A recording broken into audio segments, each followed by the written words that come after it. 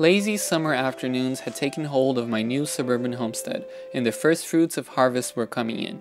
As I showed previously, my once threatened tomato plant had flipped the script to turn into a poster child for tomato success and resiliency. Yep, there's some beautiful large tomatoes. Some are ripe, some are turning ripe. I'm gonna harvest them because I know if I just let them here, there's a chance that an animal like the groundhog will eat the ripening tomatoes. And they usually don't even eat it all, they just take a bite and leave it. So, might as well take it and let it finish ripening the ones that are not ripe yet. Inside, close to a sunnier sill, that's the perfect place to put them.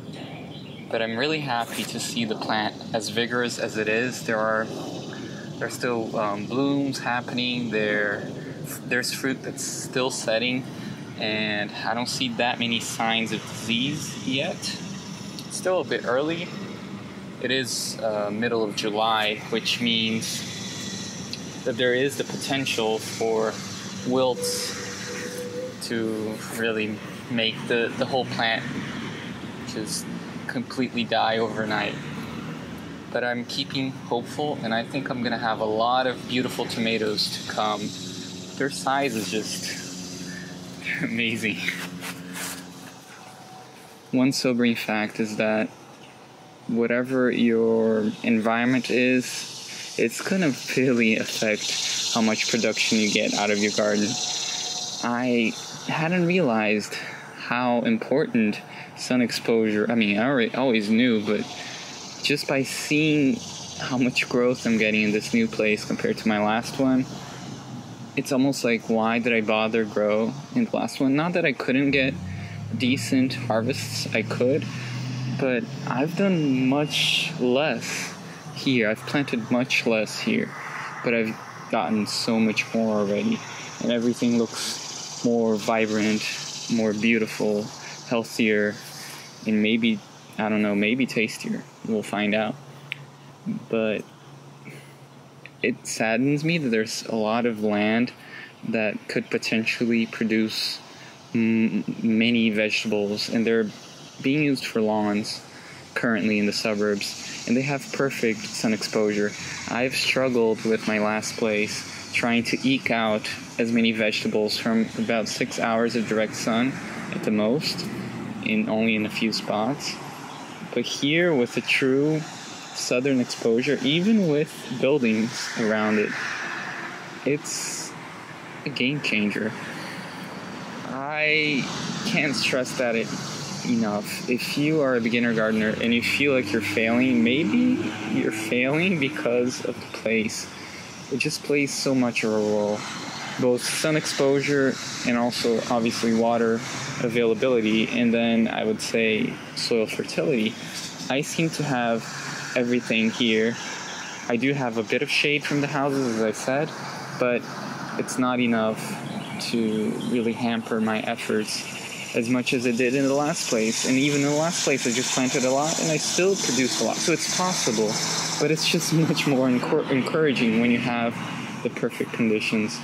So if you're ever gonna try to find a home where you want to settle, try to find one with southern exposures. Try to find one that has a reliable rainfall pattern or um, water source that you could irrigate if you want to grow vegetables successfully.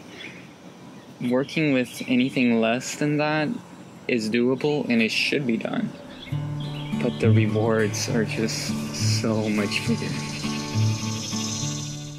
This really puts into perspective how critical it is to have decent solar exposure in your garden in order to be successful with fruit producing crops such as tomatoes. Not only are hours of direct sun exposure important, the aspect of the land is also vital.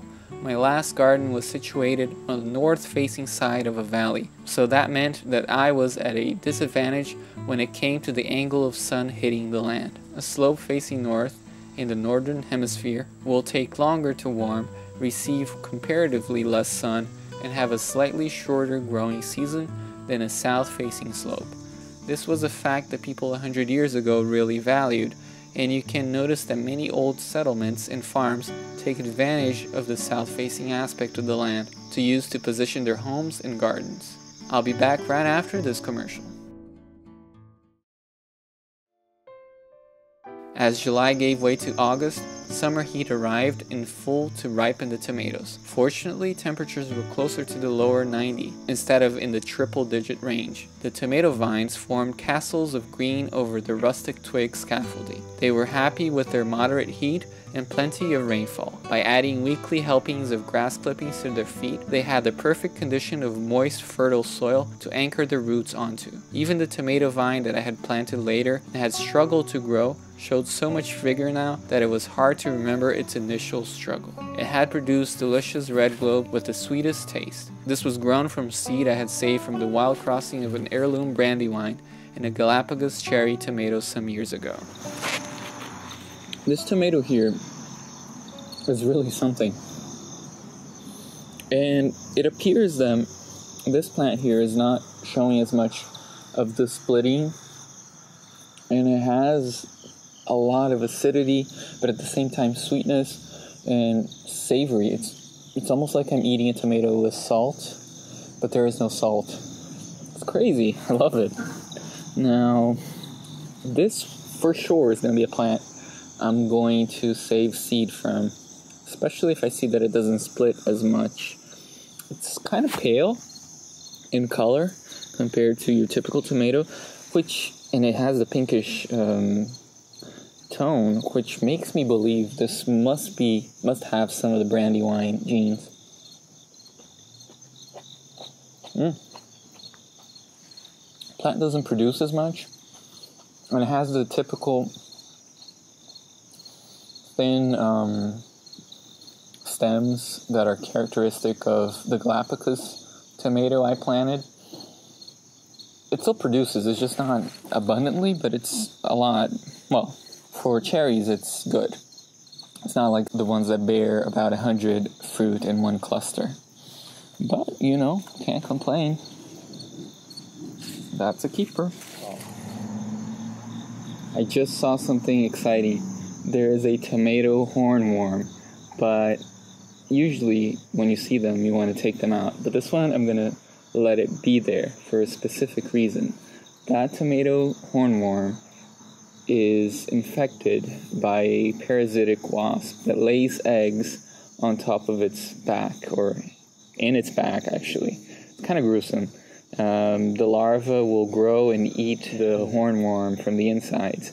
The reason why you don't want to take it out once you see that is because you want the wasps around to control the tomato hornworm, and by allowing that one to live while um, the larva grows, you'll have more of those wasps in this environment. So it makes sense to leave that one, and it will probably take care of everything else. I've never, in my years of gardening, had too much issue with tomato hornworm. This year there were some tomatoes that were eaten, and I suspected it was that. But um, by allowing these wasps to proliferate in this place, and most likely as I put in more flowering plants and other things that could um, give more habitat for the beneficial insects, hopefully it's not going to be an issue here either. It is the first year. Usually, you see more pest pressures in the first year because it's a new place you haven't built the biological um, ecosystem or community to handle threats like that. But ultimately, it's about a balance. You can't exterminate all pests. You'll always have a little bit. The, the, the key, the wisdom, is in controlling them in a way that you have. You're able to eat, and you're able to to provide a, a space of diversity where all life can grow. These tomato plants were a true success. Who would have thought that the spindly plants planted a bit later than ideal would create such biomass by the close of summer? I had not expected they would have grown so large. They even had swallowed some of the basil plants planted around them in the process. They also showed almost no sign of disease, while a few insects like the tomato hornworm and aphids had appeared here and there, they didn't last long and did not pose any risk to the plant. There was no major yellowing or leaf drop, and that meant I would probably have tomatoes all the way to the first frost in October or November. Never had I experienced such a beautiful specimen. You will see what happens to them as the season closes in my next episode. See you then.